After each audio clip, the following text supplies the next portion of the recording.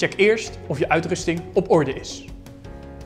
Twee bekers water, houtlijm, kwastjes, een schoteltje, spullen uit het park of tuin die je gaat gebruiken om de eieren te camoufleren, zoals gras, houtsnippers, zand en blaadjes. En natuurlijk de paaseieren zelf, geschilderd of niet. Wat belangrijk is, als je ongeschilderde eieren gebruikt, kook ze eerst ongeveer 10 minuutjes. Daarnaast wat snacks voor tussendoor.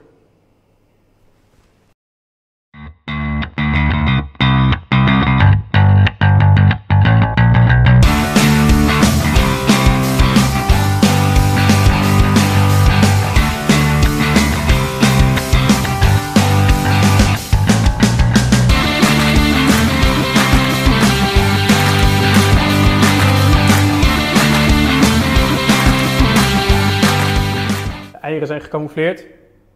Tijd om ze te verstoppen.